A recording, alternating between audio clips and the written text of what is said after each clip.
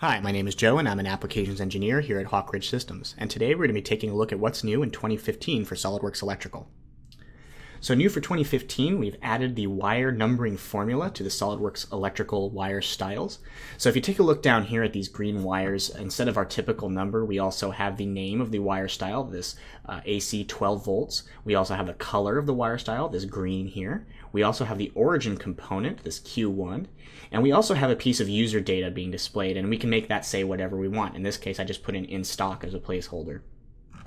So let's go ahead and see how we could apply one of those wire styles here, uh, perhaps to these pink wires. If we go and we right click on our wire style and go to its properties, we can go see that one of the fields here is this wire formula here. And if we go inside of there, we see that there are predefined formulas, and we always had access to these. But new for 2015, we have this variables and simple formulas tab that we can check on and see that there are a number of different variables being pulled from the SQL database to show additional pieces of information about our wire style. So we can see here there are things uh, that will display the origin component mark as well as the destination, um, perhaps the terminal numbers on those origin and destinations. We see the prefix of the phases. Um, we can choose to show the color, the diameter, the size, their uh, gauge section standard uh, for those wires, their voltage, or frequency. So all of this information can be added as part of the standard numbering that we would add to our wires. Another thing that we have here is this recent formulas option. So we can go ahead and reuse uh, formulas that we've created and decided that, yeah, it shows all the information we want and not have to go and build it each and every time.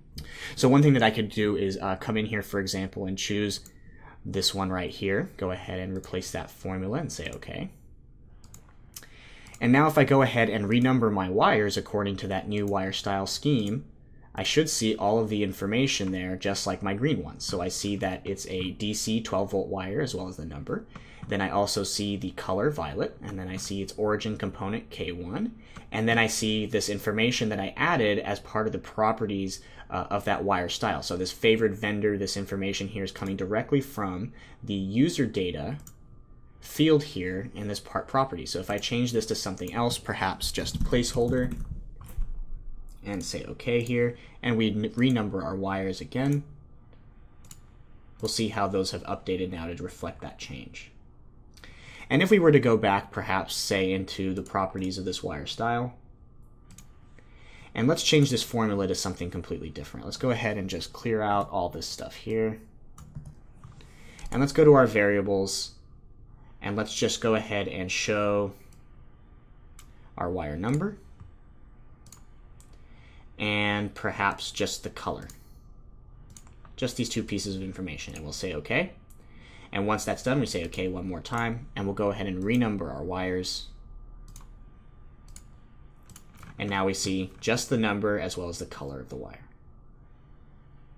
So if you liked uh, seeing what's new for 2015 in electrical, be sure to check back to our YouTube channel. Thanks for watching.